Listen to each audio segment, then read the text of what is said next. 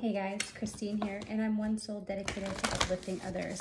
I set the intention for this reading to find you, provide you guidance, clarity, and motivation that's going to help you make decisions along your path.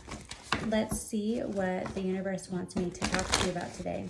If you're interested in entering for a free reading, go to the information box in below and you can click the link there, enter your email address, and I do one free reading a month. And that way I do that is I draw I do a TikTok live, I draw an email, and I will contact that person via email, let them know that they have gotten a free reading.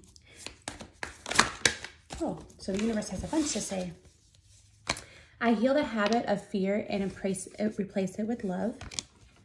I believe I am worthy of feeling good. And when I introduce joy into, into a situation, the vibrational frequency of what's happening around me changes. Joy is so powerful. It is so powerful. And you can choose at any moment to do the things that you enjoy. You can do it any moment. You have that power. It is your choice to do that. But you have to remember, you have to believe that you are worthy of feeling good. If you carry guilt because you feel good and you worry about you feeling good and others don't, that is not your burden to carry. You're here to enjoy your life, to make it the best life that it can be. And you should not feel bad about that. How other people feel about things, that is their responsibility. And that's something that they have to deal with. That is not something that you have to carry with you.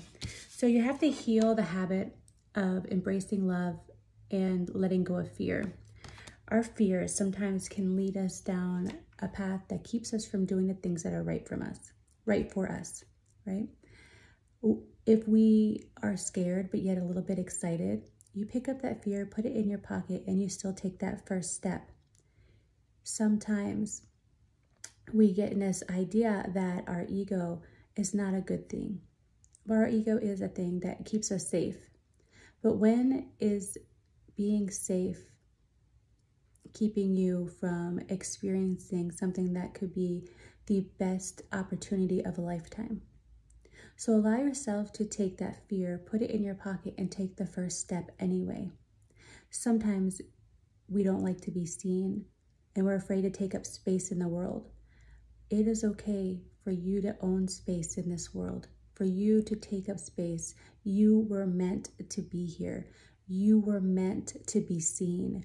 You were meant to bring your light into this world you have something special inside of you that you just need to allow to radiate out. Don't hold it back. Don't be scared of being seen. Don't be afraid of being happy. If you're happy, allow yourself to feel it. Remember, happiness is a choice, it's a state of being, it's something that you can choose to do at any time. You can literally tell yourself, Today I'm going to choose to live out of a place of love and happiness, and that is your right. No one has the ability to steal your joy unless you give them the power to do so.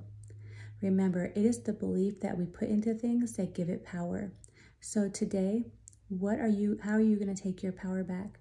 What are you going to do today that you enjoy doing? And if you find yourself in a situation that is not so enjoyable, can you introduce joy into that situation? Try it. See if it works. Like, subscribe, and comment if this video helped you, and I would love to connect with you. Talk to you soon.